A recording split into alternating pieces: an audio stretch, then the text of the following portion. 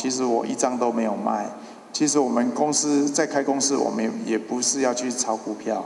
新宇航空股价先前一周内从十九元飙到五十点五元，随后又一度重挫暴跌，后续也传出股民组自救会等问题。新宇董事长张国伟周三出席活动时，首度回应事件。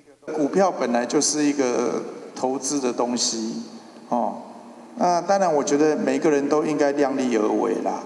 其实股价太高，对我们增资是不好的，哦，因为我们可能会失去很多 potential 的。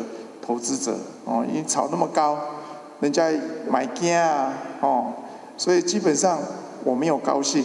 Two one。而适逢航空业逐步复苏之际，新宇航空携手玉山银行、万事达卡，周三共同推出航空联名卡。针对目标发卡量，玉山银表示十分看好。我们是非常非常的看好。那有关于目标的部分，我想目标不重要，实际上做出来才重要。哦，当然，我想现在这个时机，嗯，看起来也是非常的合适的啊，因为刚好也，呃，应到这个疫情已经复苏的这个条件嘛，哈，那也因应现在国人大量的这个出国的旅游潮。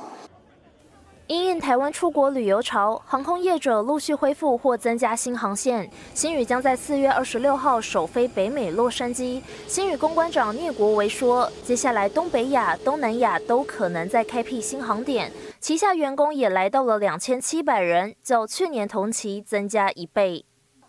新唐人亚太电视胡宗汉、曾新敏，台湾台北报道。